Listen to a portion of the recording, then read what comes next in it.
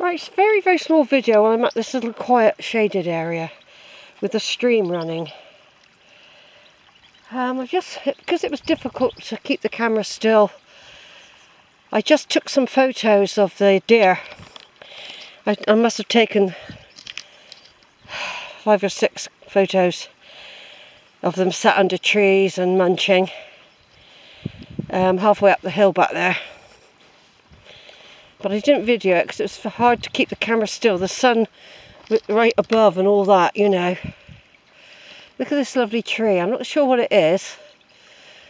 I don't know if it's a, a lime or is it an elm? Uh, not an elm. Uh, is it a ash? I don't know. I need to keep carrying a little book of trees. I did look it all up last year, but I forget. This is a nice little shaded area here especially if you're coming back. Uh, on the way back you need these these areas to cool you off. And the sheep and that use them as well. So there's some water emerging coming down here as well. A bit of a stream. Ferns aren't very big yet. Now when I come out later in the summer these some of these will be 10 foot tall. They're just finding their way at the moment, see? And there's a stream going down that way. All the way down to Bicknoller and eventually makes its way out to sea somewhere. But look at these gnarled trees. This one is a type of oak. This one is, you can tell from the leaves on this one. It's a very old oak. This one. Been here for years. Weathered, bent by the wind, providing shelter, and sensibly by a source of water. I think it's an oak. It might not be actually. It's got funny flowers on it. I do get. I must get a little leaflet to bring out with me. I mean, you can get them on you're if you had a um, smart thing with a bigger screen, you could get them up, you could just tap it in. I don't tend to use any of those facilities when I'm out because it flattens the battery too much. I use the camera as a camera. I'd have to bring another device out and then you've got to carry more. At the moment, my bag is really, really heavy. So it's got two bottles of water and two small bottles of juice plus my picnic and other bits and pieces like a first aid kit. yeah, I'm going to go up a little bit further. There's another tree a bit further up. That's where I'm going to put my sun protector on and have a drink. It's not quite yet.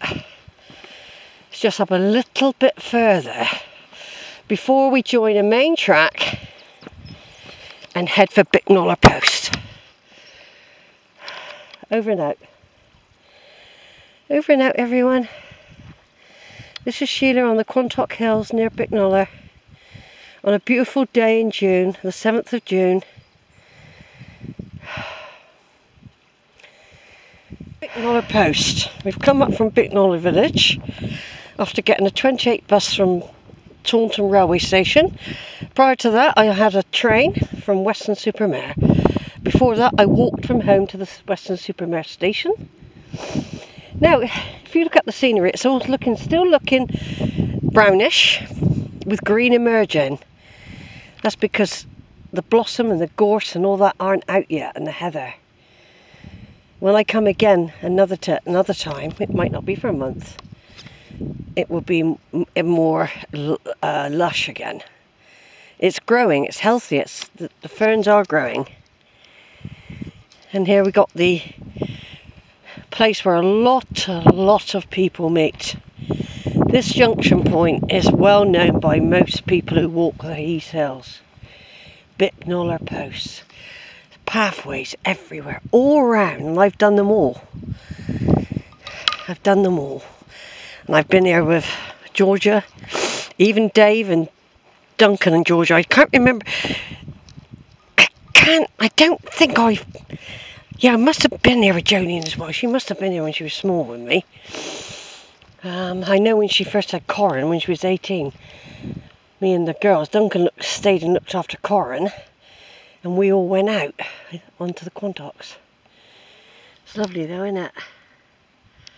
This is where a lot, a lot of people on these humps and bumps sit. Um, I've sat there myself before now. My sister Jude, there's a sign in there with a little plastic rose with the M for mum in that tree. A lot of people would sit here. My sister Jude would have sat here. She knows these hills like the back of her hand. She knows every inch of these hills. And when I'm here, I know she's walking with me. And I've just said hello to the deer. Because she could have turned into a deer if you believe that sort of thing. Free, roaming the, her beautiful hills. She loved this place. And she does have her ashes up here. Somewhere. Could have been scattered to the wind. No one's ever told me where she was scattered. I haven't asked actually. I haven't really asked. All I've all they ever told me was near a car park and that was it. A lovely family I got. Anyway, that's that. But it just when I'm on this walk, I've always loved this walk anyway. But it's only since she died that it's grown in its importance in many ways for me but I don't want it to make me sad because in a way I was I was starting to feel a bit sad when I was out here. But it's a joyous place, it's full of beauty and love. So that's what I'm going to do today. No more sad stuff. When you remember someone, it, doesn't mean you're sad though. Just remembering them. She's been passed away now for five years. So that's Bicknoller Post, everyone a very important reference point. Anyone doing map reading will know where that is. And I'm just going to take another small video as we progress downhill now. This is the good part of the walk. Um, I I didn't get I yeah I think I came up it last year once after I'd gone to the uh, Wordsworth house. I think I did come up, but other otherwise I used other paths. Um, I said, but today I'm going down. I might have gone down it as well. I, I probably had more than one visit to Holford last year, but I know one of them I didn't. I came out of Crowcombe and did the hair naps. I did the hair naps and then came back up Holford, Hodderscombe. So I don't think, I don't feel like I've been down it for a year at least, probably more. Now, when I had my van, I used to come out all year round, every month, sometimes more than once a month. In the winter, I'd be here January, February, December, March, November. But having been let down by so many bus services, and I don't, uh, okay, it's bad enough in the heat waiting, but in, getting cold to me is worse. If a bus doesn't turn up and you're waiting two hours, and it still don't turn up. Hello beautiful tree. You probably know me. I would have passed here lots. There used to be an old tree that's gone now. Little stump that's passed on. Quite often over there we used to get deer and further over might see some in a minute. Might see some deer in a minute. My eyes, not as good as they were. I mean, they, God, five, six years ago, they were sharp. I could pick things out just like that. I still can, but not as quite as fierce as I used to be able to. But I can see the ferns are just starting to, aren't they? They're going to go absolutely crazy, the ferns. And the heather and the gorse. I was I had thought about not coming out here at all. But they have increased the bus service to one every half an hour up till six and then one then there's a couple for two hours and then the last one is two hours after the one before that and that's it. But I do feel a bit more assured that there will be a bus. But of course, if one half an hour one doesn't turn up, you then have to wait another half an hour. Do you know what I mean? And of course, I always like to get to a bus early, just in case it's early. Like today, the bus was three minutes early. You imagine if I had been prolonged in the station and I thought, oh yeah, get there for 10 past. It was seven minutes past. It didn't wait either. So always get there five or ten minutes early. Because if the bus is out of sync, they don't always stop to make up. Anyway, that's enough of that. Enough about buses until later. Now that little tree I was telling you about at the start of this video, there it is. It's regained strength, I reckon. I reckon that is the one. Yeah, it might have done. it Might have regenerated. Anyway, look, here's where the one of the streams emerge here out of the hills, out of this swallow here. Well, it's not a swallow, but and, and it goes all down, all the way down into the fords, down to Holford, and eventually out to sea. Probably passing near possibly Kilve. I don't quite know. But uh, as I've mentioned on other videos in the past, Coleridge and Wordsworth and Wordsworth's sister Dorothy walked here, and they followed the route of this part of the stream, the Bubbling brook. So I'm I'm now walking in Wordsworth country. He didn't stay here very long, by the way. Why? In a way, they were handed out. They were seen as too revolutionary. When they stayed here, um, Coleridge was at North Peth- um, Nether Stowey, and Wordsworth stayed down the road.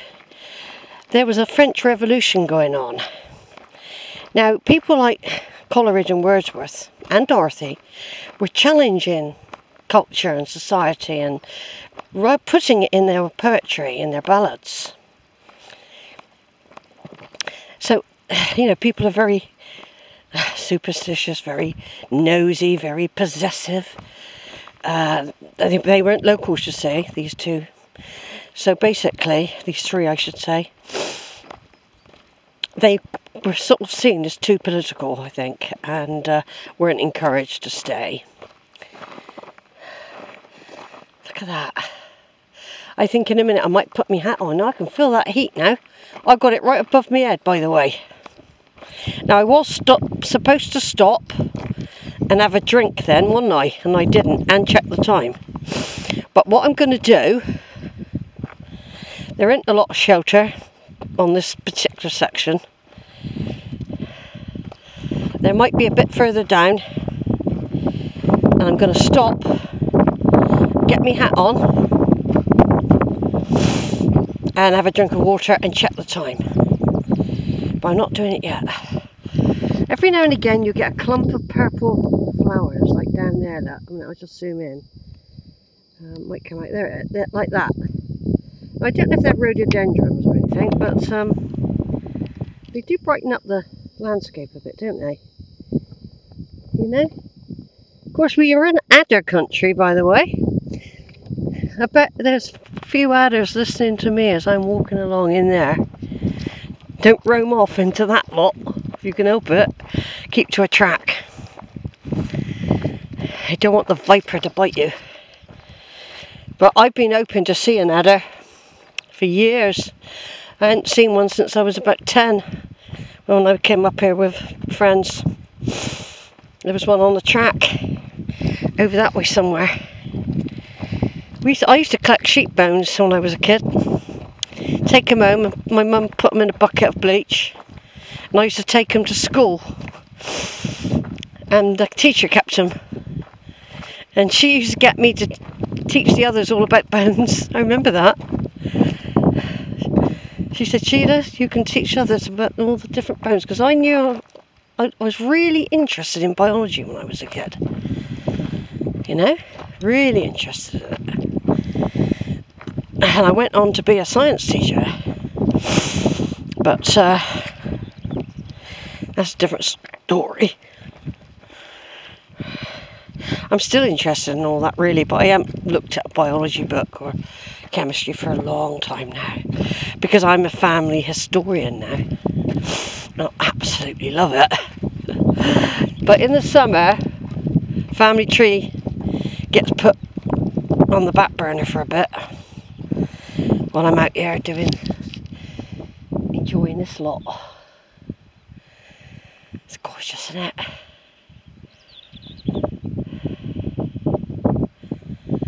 Gorgeous.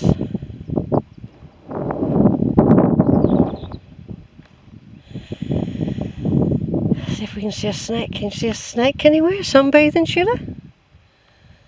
They can hear you and they bloody eyed. Over and out for a minute.